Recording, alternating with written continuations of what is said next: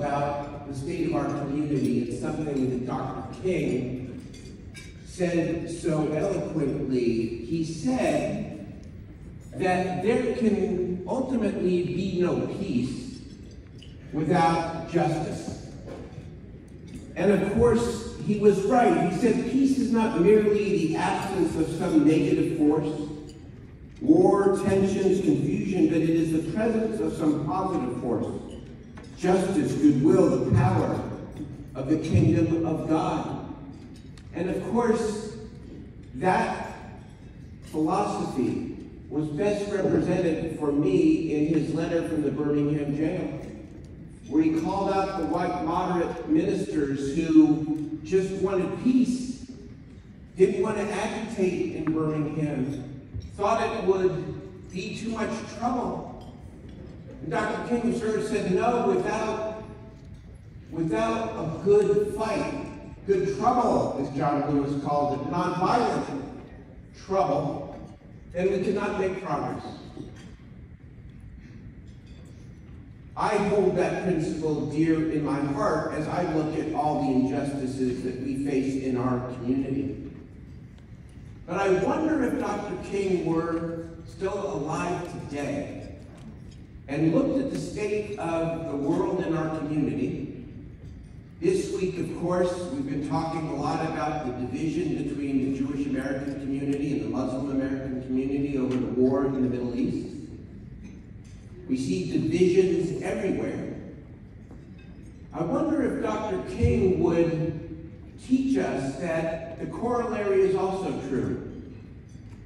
That without peace, we can't ultimately find justice. That if we don't talk to one another, no matter how deeply held our differences might be, if we don't stand in the shoes of, of somebody else of goodwill, who may have a different point of view or a different history or a different source of pain, if we don't try to build coalitions that actually allow us to achieve justice and equity, that maybe achieving justice can't be realized. I'm,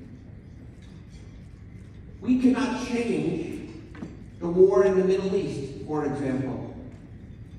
But we can model behavior on our college campuses, and I'm so glad that we have great education leaders here today, Chancellor May, President Cardoza, and of course President Wood and others.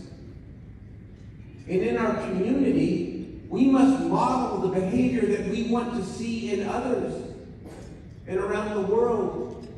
And so I call on all of us here in my last Martin Luther King dinner speech as mayor to remember that this dinner started in part because Sacramento has always been a courageous city and a courageous region. We have always stood with and for each other in times of trouble. When the NAACP is firebombed, we stand together. When the synagogues are firearmed, we stand together.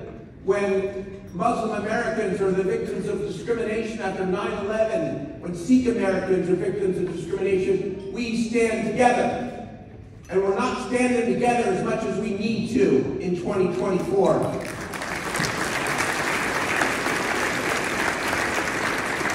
So let this dinner be a reminder not only of remembering Dr. King's teaching, that without justice there can be no peace,